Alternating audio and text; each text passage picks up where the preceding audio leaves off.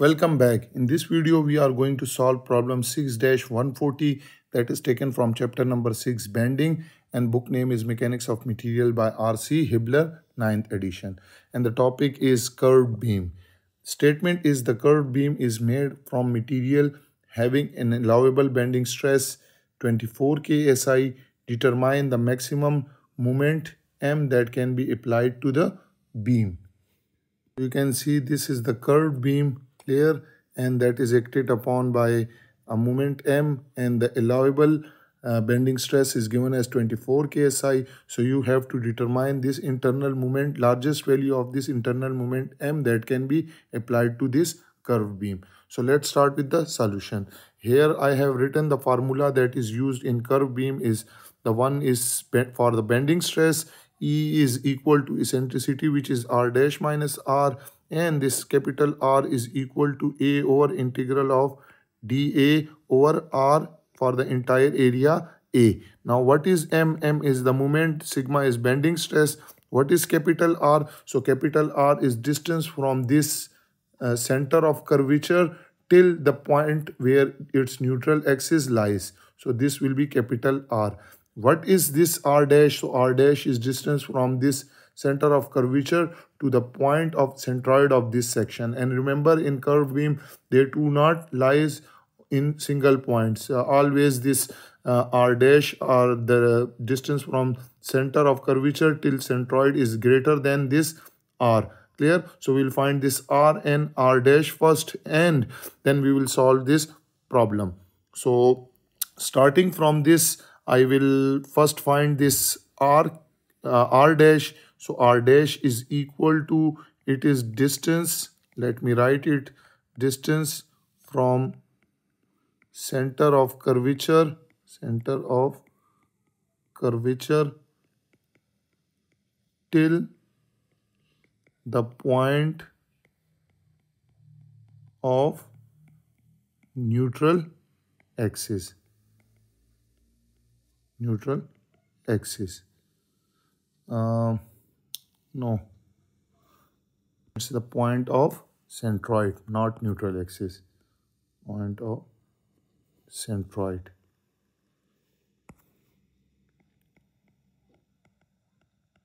So where its centroid lies, for, so first we will find this R dash. So R dash will be equal to, for this T shape cross section, we know that its centroid will be equal to Y dash into A divided by sum of area. So let this first rectangle is this one.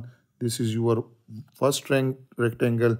I will write it 1 and this is your second rectangle. So according to this the formula will become y1 dash into a1 plus y2 dash into a2 divided by a1 plus a2 now what is a1 so I will write it. You can see for this first rectangle the a1 will be 2 into 0 0.5 which is equal to 1 so i will write 2 multiplied by 0 0.5 and that is equal to 1 square inch. Clear? What is a2 so a2 for this is a area of a2 which is 2 multiplied by 0 0.5 again 2 multiplied by 0 0.5 and that will give you 1 square inch now what is y1 dash? So y1 dash is distance from this centroidal axis. If I extend it, so this is the centroidal axis. So distance from centroidal axis till the mid of first section is y dash 1. So you can see this is y dash 1 and this distance is equal to this up till this distance this is 3 inch 3 inch plus 2 inch 5 inch and 0 0.5 divided by 2 is 0 0.25 so total distance will be equal to 5.25 inch. So I will write it 5.25 inch. So y1 dash is 5.25 inch. Now what is y2 dash? So y2 dash is distance from the center uh, from the center of curvature till the mid of second section.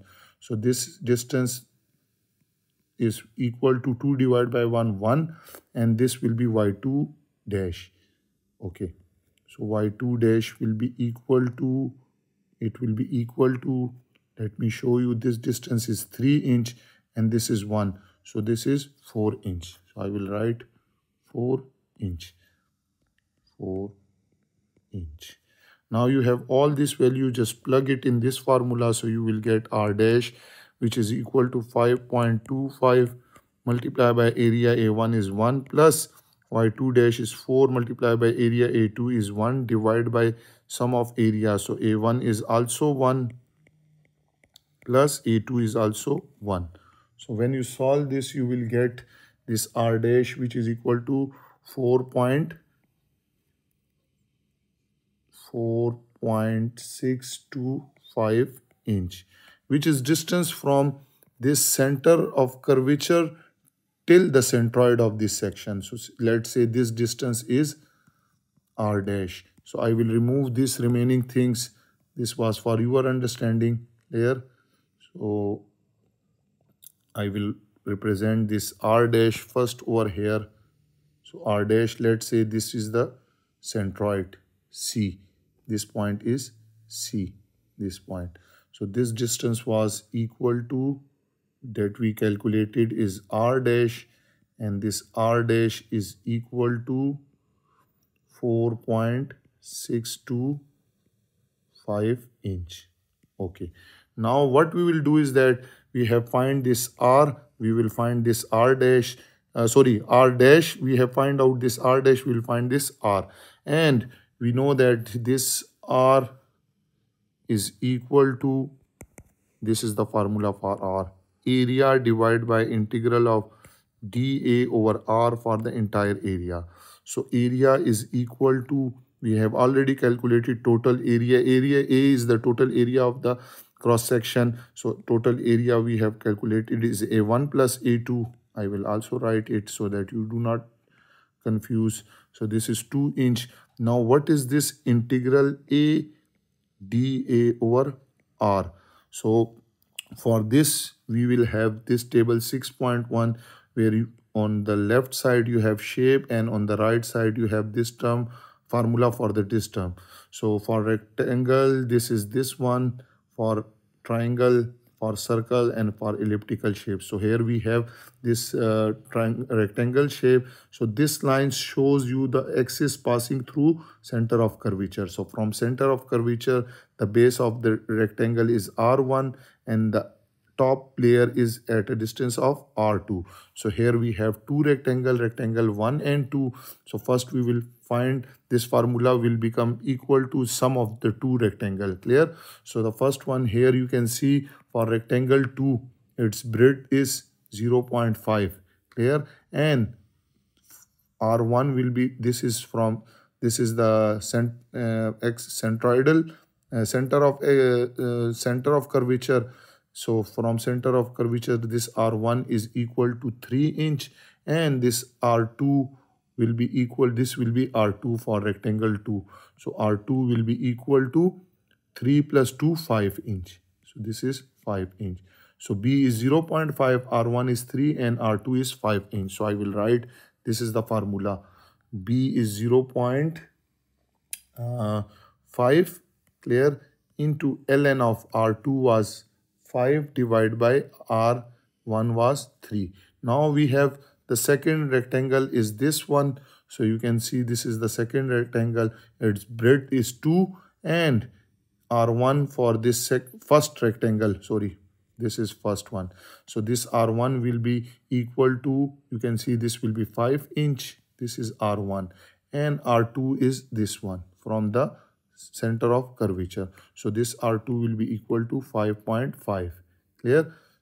Up till this, this is 5 and 0 0.5 is 5.5. So I will write B was 2 and ln of 5.5 which is R2 divided by 5. Clear? So when you solve this, this term will give you the value 0 0.44633 inch. Now you have the area, you have this term, so just plug it in this formula. So R will be equal to 2 divided by 0 0.446033 and that's come out to be 4.4840 inch. And this R is distance from center of curvature till the point where its neutral axis lies and you can see this is less than this r dash so it means that your neutral axis is below somewhere this neutral axis will be somewhere below this centroid of this section. So this is capital r and this capital r we have calculated 4.480 4840 inch. Now you have this uh, r dash and r so you can just find e dash. So e dash e is equal to r dash minus capital r. So r dash is 4.625 minus r is 4.4840 so when you calculate it you will get 0.1410 inch now you have all these values since we have been asked to find the maximum allowable internal moment. So we know that bending stress will maximum at section A either on this point or this point. Clear? So let this point is B point and this point is A point. So I will also designate them over here. This point is your B point and this point is let your A point.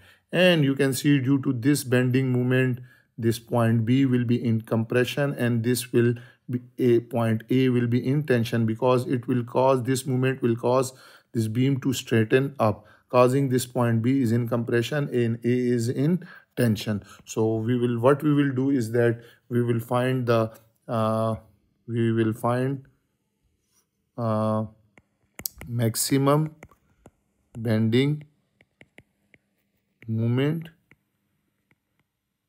for point A clear as we know that uh, this stress is equal the formula for stress is equal to m into capital R minus R divided by A into E multiplied by R. Now what is R? I have already told you that R is distance from the center of curvature where you find the stress. So for point A, for example, for point A. We are interested to find out point A. So RA will be this distance. This distance will be RA. Clear? RA. So R will be replaced with RA. So R, I will write this as this. And this RA, you can see this is equal to 3 inch. 3 inch.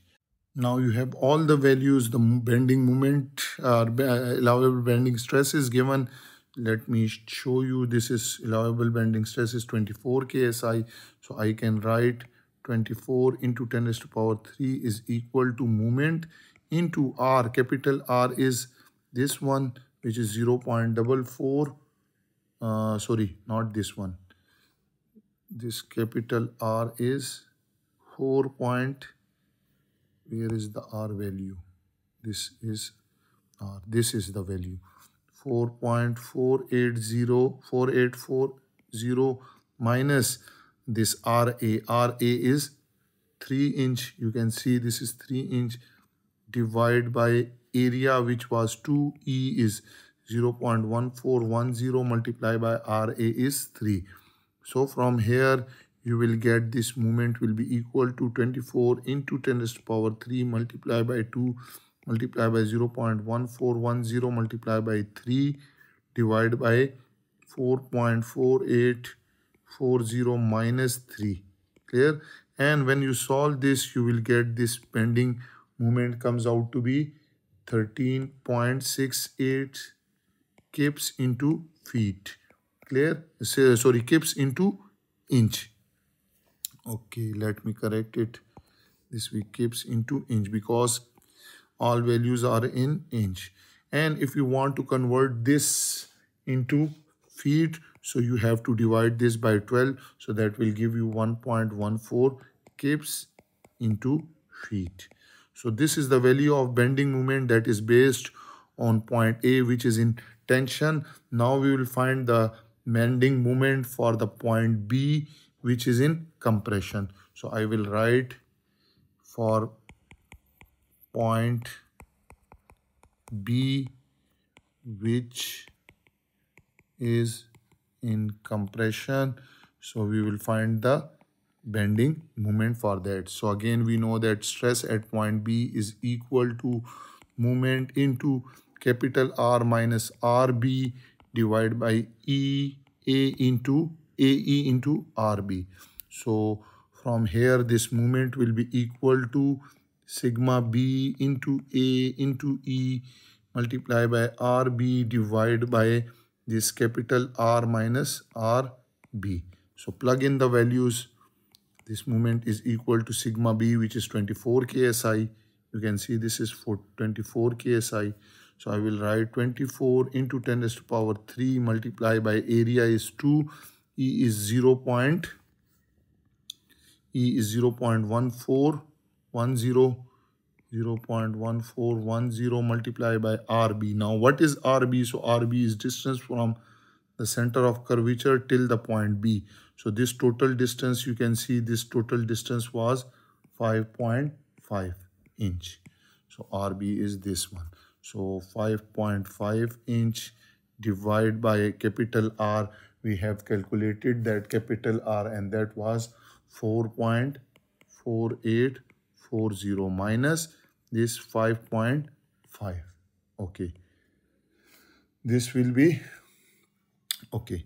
And as we know that uh, point B is in compression, so this bending stress will be negative. So I will write the bending stress is negative. So again, this term will also give you a negative value and this will cancel each other and we will get this bending moment comes out to be 36.64 kips into inch.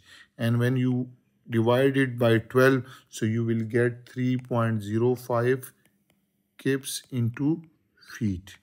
Now you have we have two values this bending moment is based on point B which is in compression and this was the moment at point A which is in tension. So we have to choose the largest moment that can be applied to the beam which is this one. We will choose the smallest one because this value will give you the bending stress in this curved beam that will not exceed this allowable bending stress. What if you choose this value, you can just plug it in this formula. So you will see that it will exceed the allowable bending stress at point A, which is causing failure. So it is better or it is advisable to choose the smallest value. So our answer is choose,